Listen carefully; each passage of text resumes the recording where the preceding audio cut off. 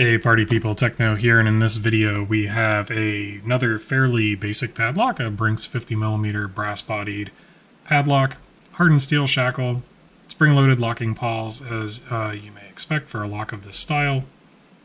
And in this case, we have a keyway that vaguely resembles an M1 keyway, but it's just comically large. So this is in fact a 5-pin core. And both the master M1 key blanks or the K15 key blanks fit in this keyway with room to spare. Like I said, it's just almost comically large how, how big the keyway opening is on this. And it tapers towards the top for some reason I don't quite understand. But in any case, we're going to see what it takes to pick this lock open. And to do so, I'm going to use a top of the keyway tensioner in 50 thousandths to accommodate that very large key opening and of course my Sparrow's Tron pick, and let's go ahead and get started. Nothing on pin 1, however pin 2 is binding. And nice click out of pin 2. Nothing on 3.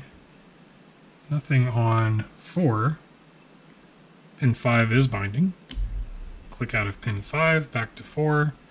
Nothing on 4. Nothing... Uh,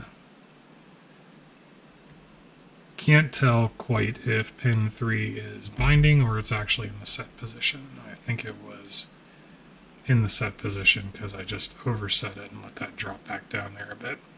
So back to the front. Pin 1 is binding. Nice click out of pin 1 there. So let's go back and check these. We have 1, 2, 3. Again, not sure if that's set or binding and 4. So it's either pin 3 or pin 4 in this case, and it was pin 3. So just pushing that up a little bit, we got this open. So not a terribly challenging lock there. Uh, actually, a lot of a lot of slop in the core. You can probably see that if I lock this back up, just placing tension on that, it moves significantly. And we have those spring-loaded locking pawls there, which reveal yet another weakness of this kind of lock design and that is that we can go ahead and shim this guy open. However, in this case, I, I will have to point out that there is barely enough room to get shims into this. So in that respect, that was actually fairly well done, and it's it's almost more effort to try to shim this lock and get it open than is worth the effort. You might as well go ahead and attack that core because that core is not terribly impressive. Try to get these shims into place. As I said, barely enough room and honestly probably more difficult than it is worth trying for unless you really want to go for that bypass.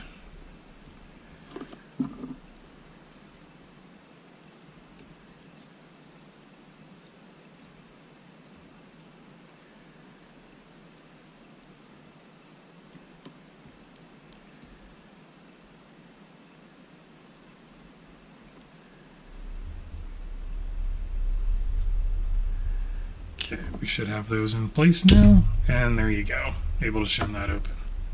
You probably could see there that I struggled significantly more with shimming and bypassing the locking mechanism than I actually did with picking the core. But in any case, that is the Brinks 50mm padlock. And until next time, I thank you guys for watching. I do appreciate it. Uh, take care, and I will catch you later.